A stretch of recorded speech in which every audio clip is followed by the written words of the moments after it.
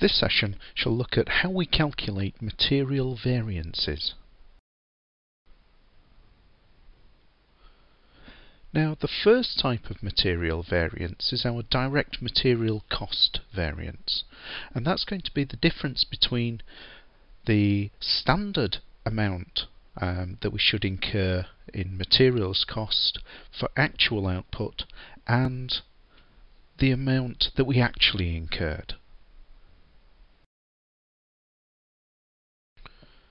Now when we look at variances, they come in two types, either favourable or adverse. Favourable variances, well these occur when our actual cost is lower than the standard cost. And this can be because the efficiency with which we use our materials hi is higher than the standard efficiency, or the price that we're paying for our materials is lower than the standard price. Conversely, adverse variances, these are when our actual costs are higher than the standard costs. And again, this might be because our um, efficiency, the efficiency with which we use our materials, is lower than the standard efficiency, or the amount that we're paying for our materials is higher than the standard.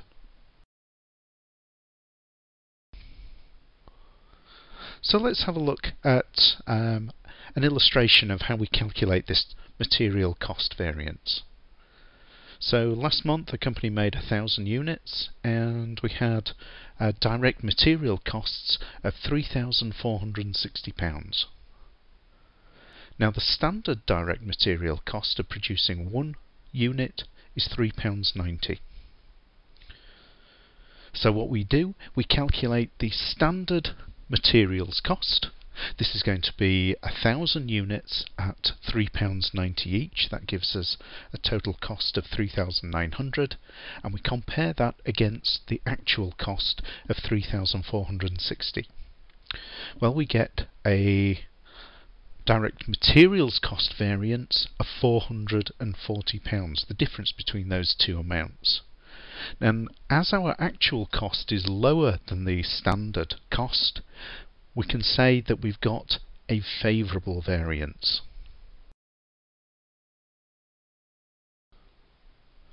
What we're now going to look at are materials price variances and materials usage variances.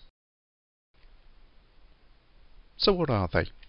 Well, when we look at that material cost variance, we can split it into two parts. First of all, we can uh, look at the variance that's caused by um, a business paying different amounts for the materials that it's purchased, so different amounts per quantity of material. This variance is going to be called the materials price variance, and we can also um, calculate the variance that's caused by the amount or quantity of materials that have been used to produce the units and that's known as the materials usage variance. So how do we calculate our material variances? Well, previously we saw how we calculated our material cost variance. This is the difference between the standard cost of material for actual production and the actual materials cost incurred in order to split that materials cost variance into two uh, further variances, we've got to calculate a another number. And that's the actual materials that we've used at the standard price for the material. Then we can compare our top two numbers. That's the uh, amount we should have spent on materials for actual um, output and we compare that with the actual materials used at the standard price. The difference between those two numbers is our materials usage variance. Then we compare the actual materials used at the standard price with the actual materials cost. And the difference there gives us our materials price variance.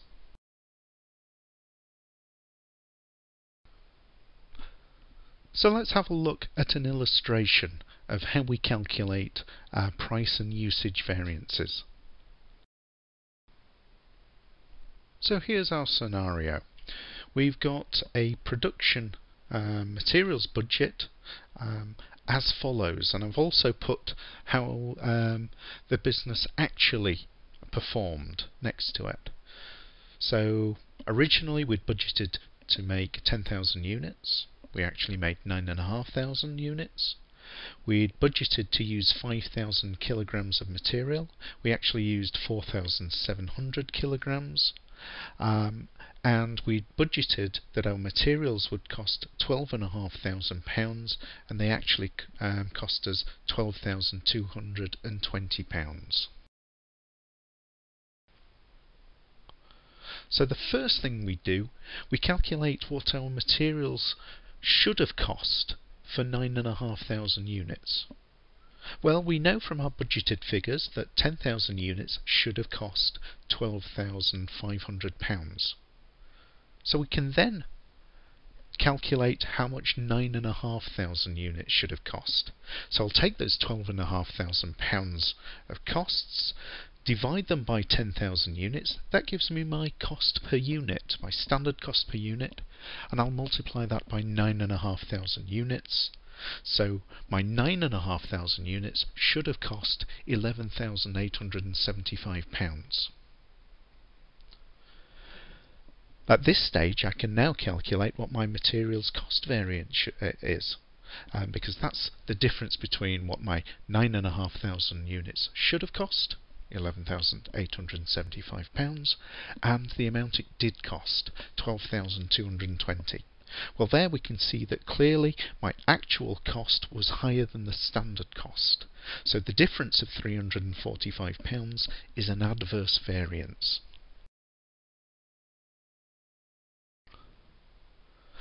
Secondly, I'm going to look at how much the actual materials that I've bought and used should have cost. So in order to do this I've got to go back to my budgeted figures, that'll provide me with my standard costs, and calculate um, what the standard rate per kilogram of material was.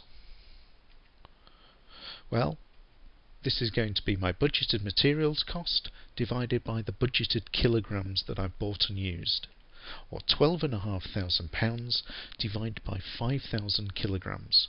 That works out at £2.50 per kilogram.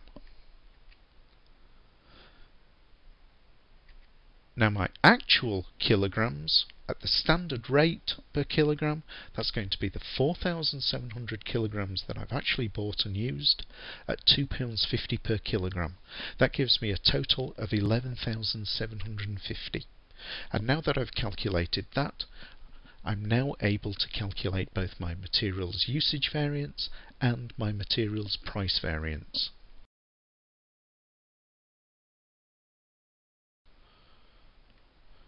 I've now got three numbers. I've got the amount that my materials should have cost me for 9,500 units. That's my um, figure from step 1 of 11,875. I've also calculated how much the actual materials that I bought and used should have cost. From, that's from step 2 of £11,750. And lastly, I've got the actual materials cost incurred.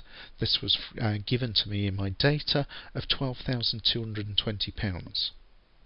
As we've mentioned previously, um, the difference between the standard cost for 9,500 units and the actual cost is my materials cost variance and that was £345 and it was an adverse variance.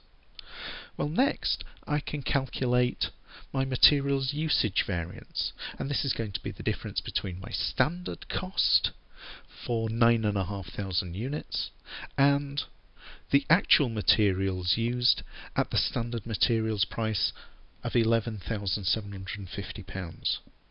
That gives a difference of £125 and this variance is favourable because I've used slightly less um, materials than I'd actually expected to use.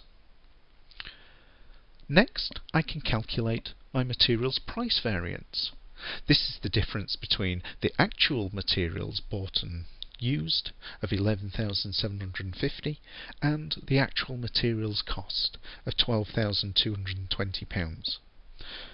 There we have a difference of 470 pounds and it's an adverse variance as the actual materials cost is higher than the materials that I've bought and used at the standard materials price. So I must have paid at a higher price per kilogram for these materials than I'd expected to.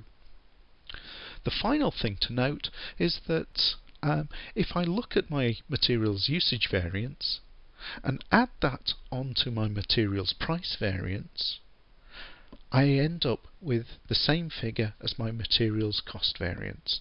Now this isn't surprising because all I'm doing is I'm taking that materials cost variance and splitting it into two elements. So that's how we calculate our materials variances.